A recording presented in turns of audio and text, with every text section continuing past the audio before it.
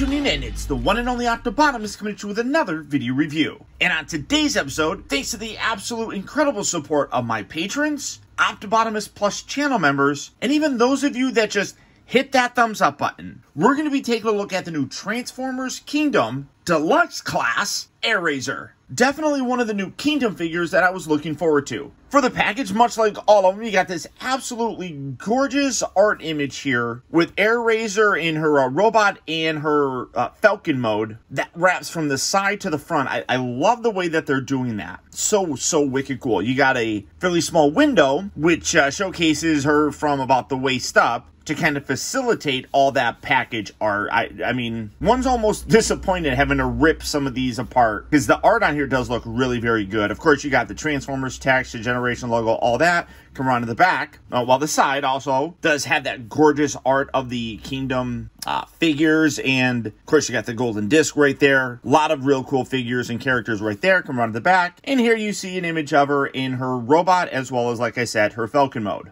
But uh, for the packaging on this girl, that is about it. So without further ado, let's get her out here and see how cool she actually is. Alright guys, so here we have Air Airazor open up out of her packaging and obviously in her Falcon mode. And starting off first, much like all of these Kingdom figures, she does come with a collector card. Hers came with the Ark. Now, my understanding is that there are different variants of the same kind of card. I don't remember which figure this came with, but as you can see, it says Autobot Ark, first of all, on it. So they uh, changed that up a little bit. And then when you would look at this one, you could see it was crashed onto Earth. And then you, you have this, it says 1984 right there.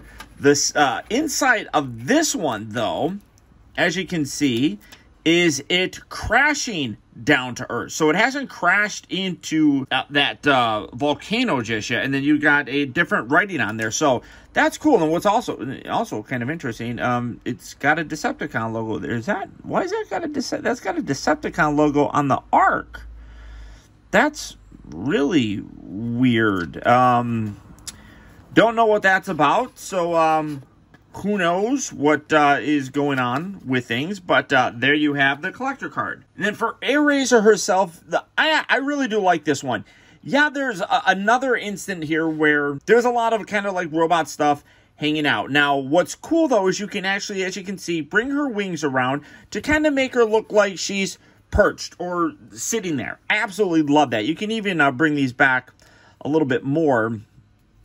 And if you really wanted to, get her to perch up and uh, sit a little bit taller, matter of personal preference. But I love the fact that you can do that because a lot of flying sort of uh, toys, it, it, they only really look good when you're having them fly. But I love the fact that they put that in there where you can have her kind of sitting. You can also take these, like I said, and kind of bring these all the way back and then uh, straighten out her head, bring these wings out, and now you can have her flying around. And uh, again, really very, very nice. But this is where you can see uh, some robot bits. You can see her legs clearly folded up there, her arms and everything. And the bottom section is kind of a lot of exposed bits. Uh, top from the top looks a whole lot better. Uh, but I mean, well, yeah, it it it it, it does kind of stick out. I don't think it's really all that bad. Um, I'm a little bit more forgiving of it, I think. But I, I absolutely love it. The texture here all the individual feathers here have a real nice amount of detail sculpted into it. Good paint variation with it. You can see lighter grays, darker grays. You got some brown elements right in there. But I'm really just in general very impressed with uh, the way that those wings turned out. Really very happy with it. A lot of nice textural detail throughout the entire thing. Like even when you look at the feet, you can kind of see those uh, bird-like ridges on their feet and everything. You got claws and all that fun stuff. Great detail with the head. Uh, real nice paint on there. You got the different color grays as well. Uh, I I even love the fact that they articulated her jaw. Um, it's a little bit harder to get to. You can see, but it's open right now, and then you can even close that up. I didn't expect that. I think that's really cool. But you can see the wings are very nicely articulated. You got a couple different hinges, so you can really get some really good uh, flapping poses. As you can see, you can wrap things around to uh, make her look a little bit more like a uh, perched bird or uh, a bird that's just kind of sitting there or whatever the case may be. You can rotate her head uh, left and right. It, it doesn't go side to side like that. It just spins, which is fine for me, but it can also hinge up and down. So again, you can take something like that and create a, a, a seating look for which is great. Uh, again, I mean, I love the fact that you can do that with her because now it doesn't force you to make her uh, like have to try to fly. You, you, you don't have to get a uh, pose like that, which is almost impossible to do. But getting her there uh, for some comparisons, here is the core class rat trap, so you can see how big she is. Let's um, and perch him on the back and have him, uh, well, not really. Uh, maybe you can do something. Yeah, you can kind of do that. Have him fly around uh, on her back. Let's see. We have uh, Cheetor, of course, bringing in all the Maximals. Again, good size, I think. Here is Primal. Uh, obviously, a bird is going to be smaller, but she was a bigger bird in the show, so it wasn't really real world scaled. Uh, I mean, she would probably be a little bit bigger than Rat Trap, but I, I feel like she's a lot bigger. I mean, especially when you're looking at her with like Primal and stuff. And then uh, because we seem to be getting, oh, we're getting some really uh, strong women characters. Uh, I mean, it was International Women's Day the other day, so yeah, that's pretty cool. So here is Blackarachnia, who you know, eventually becomes a Maximal and all that fun stuff. So a lot of real uh, strong female characters. Unfortunately, we all know, well, if you don't know, you should go back and watch Beast Wars, but Airazor has a very strong connection to Tigatron, and eventually those two become fused together to create the character of Tigerhawk, which is a terrific character in of itself, but it's cool to get the uh, individual ones. We're, we're going to be obviously getting her, as you can see, and then we're going to be getting Tigatron 2, and I'm really very excited about having both of these characters. But overall, really very, very nice. Now, for her transformation, I'm just going to take these wings and fold those back just to kind of get them out of the way makes it a, a little bit easier. Then come down here to these legs. You're going to kind of pull them away. Uh, they are going to tab in right there. I'll show you that obviously when we go back to her beast mode. And then just straighten these legs out. So again, pull that there and then rotate that out. Bring that down, straighten these out, and then rotate her at her knee and then rotate the actual foot. So again, rotate the lower section of the leg, then rotate her foot around. Come around here to the whole body. You're going to spin that whole thing around like that, bringing the, the head in a proper kind of alignment with the rest of the legs. Come down here to these arms. You're going to pull these up and away like so. Then come around here to the back section. This back section, it's a little bit tricky. This all tabs in. Um, so just separate that, kind of hinge this down, and then rotate this all around, which will bring her head out. Again, it's a little bit tricky to do, but there we go. Bring that all the way around. It's tricky because it wants to rotate on this uh, other joint on the back section here. So just kind of, there we go. Bring that around there and then line that up. And then you're going to want to accordion the uh, entire torso down. That all down. Come on that's really, the hinging here is kind of annoying. There we go. Get that all the way down there. Don't push her head all the way in. Keep that up. There we go. Okay. So now that's position right. This back section here, you got these little uh, tabs and uh, slot things right here. You're just going to lock that in right there. And then take the tail section, give that a good push, and that will lock underneath here. Let's see, you might have to angle it back a little bit more. There we go. That'll lay then flat. And then bend these wings so that this little tab then becomes exposed and you want to lock them in to those little points on the side. And then hinge this, bring that out, and then hinge that out like that. So again, bend there, fold that section, then you can bring that all the way around, bring that out a little bit. That locks those wings into place, fold that little bit out, kind of just sits right there. Fold these little guys back, come around here to the front, take these arms, straighten out her forearm, rotate at the elbows, kind of straighten up that. There we go. Bring the arms down and then lift up her little shoulder bits like that. Now, uh, for the more completed look of her, you can take these, remove these from the thighs, and then just put them back up here on her forearms. That's where they were in the cartoon. So bring that up. But as you can see, they store and can be on uh, both sections fairly easily. Straighten out all of that. Get her head looking good. And when you're done, there you have Airazor in her robot mode. And I, I absolutely adore this thing. And I'll be honest, there is something about Airazor's robot mode that absolutely I love. It might be my favorite robot mode from any of these Beast figures.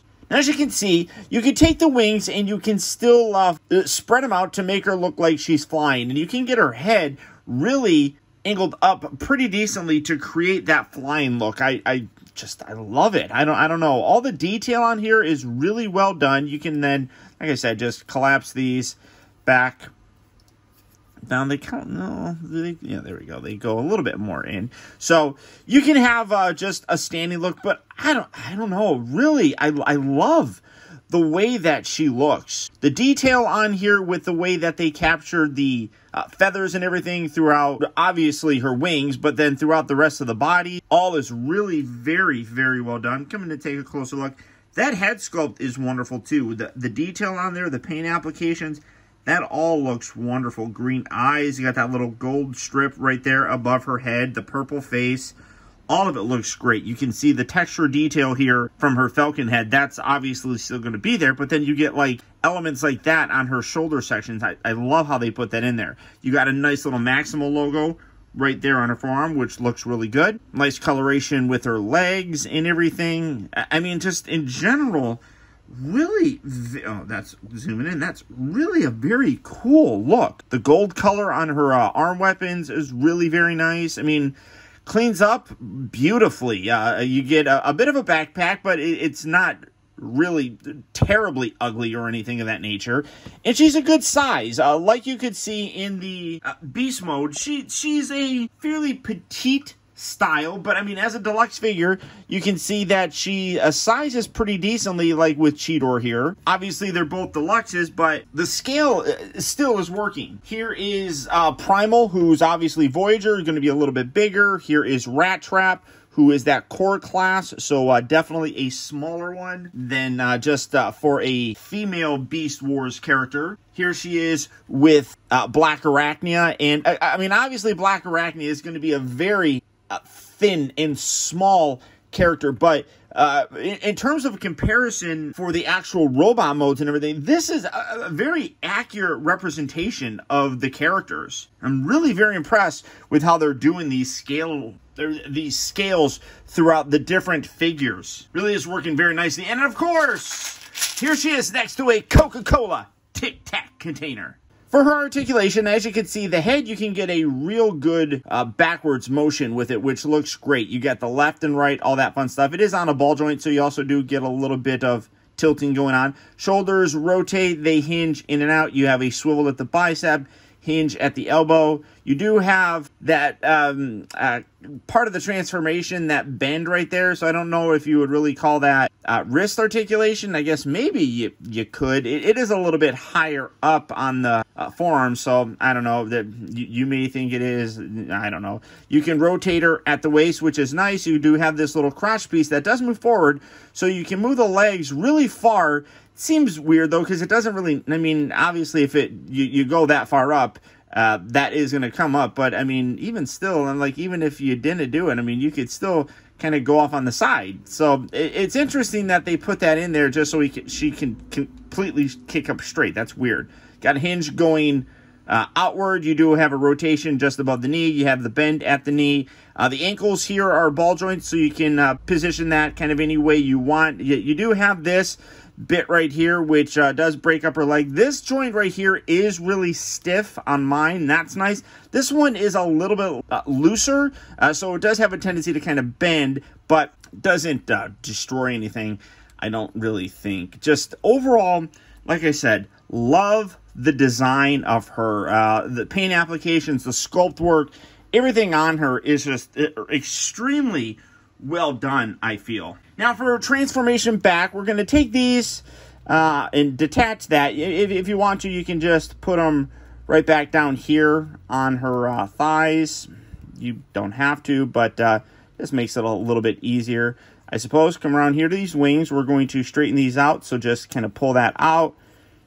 Pull that out, extend that just like that. Take the tail, you want to detach that, lift that away, and then pull this back section away as well. Then this whole th this part here it, it, does get kind of tricky. Let's get these uh, collapsed in here like that. Uh, the whole torso bit here, like accordions in, and it, it's definitely tricky to uh, pull it away from the body.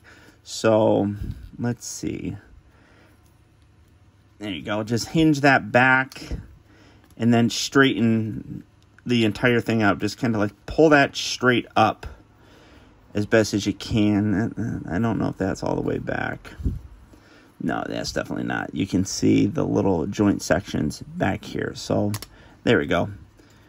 So get that as uh, straight up and down as you possibly can. And then when you have that like that, you can take the head here and rotate this back and pull her beast head out at the same time then we're going to take this, and this is going to shift up right here. So you have uh, the little tab sections here that are going to lock in that, and then you got this middle section that's going to lock in the back of the base. So just kind of line that up and make sure that all is connected and give that a good squeeze there. So now that's uh, as flat as you're really going to get it. So there we go. Now take these arms, this is where you're going to bend there at the uh, elbow section and then rotate that around. Then that's going to bring out a little tab on the underside of her fist. That's going to slide into the center section here of her torso and just basically uh, groove in and sit there. So the fist goes on the inside. So again, do that on this side here. Rotate that down bring that all the way in. So again, you're going to take this little tab that's on the bottom and going to slot that into that little piece right there. So just bring that in, keep it straight, and then try lining that up as best as you can. So that's right there. Then take this entire torso bit, rotate that all the way around. These legs, you're going to pull away and then rotate these up. Then you have on the inside of her thigh, is this little oddly shaped hole that that post is going to go into. So just bring that in, lock that in like that. And then, oh, sorry, before you do that, rotate her at the knee. There you go. And then can bring this up, bring that out, and then lock that in. Then bend her at the knee here, and then bend at that looser joint and rotate her falcon leg around. Do it on this side as well. So again, we're going to kind of pull it away, rotate it up, fit it in that little post, bend the knee back, bend this other little joint forward, rotate her feet. And then if you want to, you can just position her head to be down like that.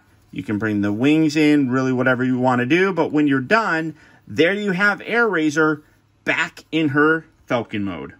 But again, an absolute wonderful release by Hasbro. While, yes, the bird mode does have that uh, whole exposed robot element going on. The transformation is pretty fun to do. Despite the fact it being really fairly simple.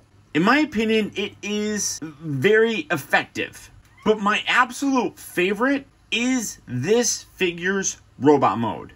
In my personal opinion, it is the best looking robot mode that we've gotten. Now, that's not to say that the other ones aren't good. Primal is fantastic. Megatron looks outstanding. Hell, even Black Arachnia really does kind of blow my mind. There's just something about Airazor's robot mode that just grabs me. A lot of times, reviews are subjective and entirely based on the opinion of the reviewer. So, in my opinion, robot mode, she is the best. And without a doubt, I would recommend adding her to your collection. It's been a while since we had a really good Beast Wars representation of Airazor, and in my opinion, they knocked it out of the park. But uh, beyond that, guys, that's about it. So if you would please, again, if you enjoyed this video, I would really appreciate it if you would do one very simple thing for me. And that's just to hit that thumbs up button.